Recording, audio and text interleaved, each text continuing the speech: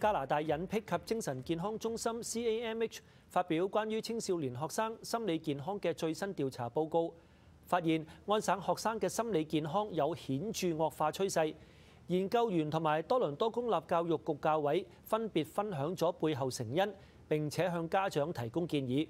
記者詹善雲報導。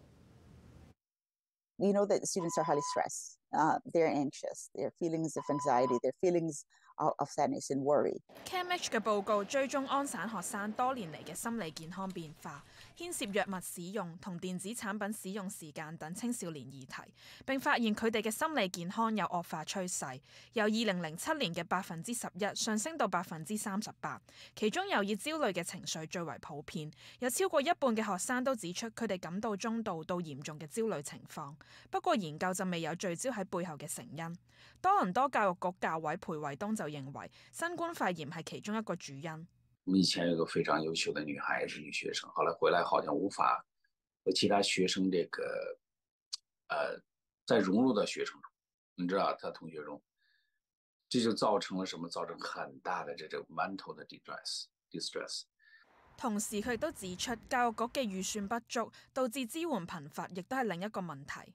嘛，今年好像沒有砍，去年一砍就砍了五百個這個 social worker。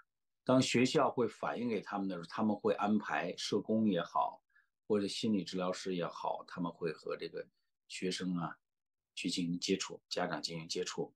報告顯示，安省有五成七嘅學生了解學校所提供嘅支援服務，不過僅有一成四嘅學生向校方尋求幫助。而今年 CAMH 亦喺報告新增咗一項新嘅調查範圍，探討學生拒絕尋求幫助嘅原因。有超過六成嘅人認為自己可以解決，同埋近四成嘅人害怕負面標籤。裴衛東建議華裔家長唔好視心理疾病為洪水猛獸。心理疾病呢，要麼不是個疾病，要是是個疾病，你覺得 很很难以启齿。Find people that you trust. Speak to people, whether it's your your parents, uh, your friends, your teachers, a mental health professional, but someone that you trust. Um, speak to them, open up to them. Um, don't just keep everything inside and, and, and worry. It's important to seek support. 報告亦都發現九成四嘅學生有每日使用社交媒體嘅習慣，約四分之一嘅人每日會花五個鐘頭或以上嘅時間喺社交媒體上邊。